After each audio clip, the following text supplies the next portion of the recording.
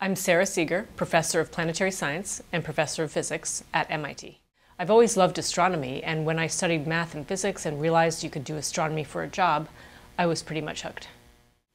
I work on many different research problems, but my favorite problem that I'm most focused on right now is how to find and identify another planet that is like Earth. And by like Earth, I mean a planet that is small and rocky, that has a thin atmosphere and the right temperatures at its surface so that life may exist.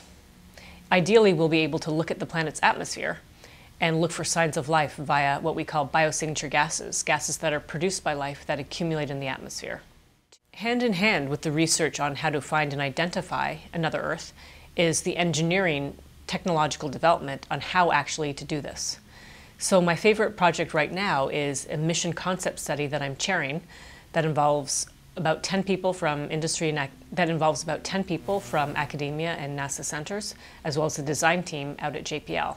And we're trying to understand the details of how we can build and launch a space telescope accompanied by a special occulting screen we call a starshade to be able to find an Earth next to a sun-like star. Being at MIT in EAPS is extremely helpful because people who study Earth in a lot of detail are here. That's people who understand Earth's interior and Earth's atmosphere. And all that information is very useful as we try to understand how we're going to study and characterize another Earth. Being at MIT is incredibly useful because of the physics department and the engineering department, both of which I work with. And especially um, working together with the engineers has been incredibly fruitful. For my research, the tools are quite varied, but we heavily rely on computers for writing detailed computer codes using applied physics to predict what exoplanets will look like.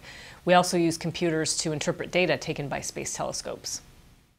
The favorite part of my job is doing research and thinking in the zone where the whole world goes away and it's just me and my scientific problem.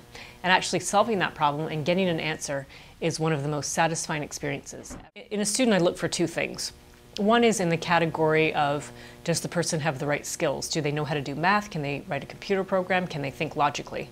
But more important than that is the ability to think outside the box and a boldness of spirit so that the person is willing to take on challenging and risky problems. I'm most excited about how fast we're maturing the technology to actually find a true Earth twin.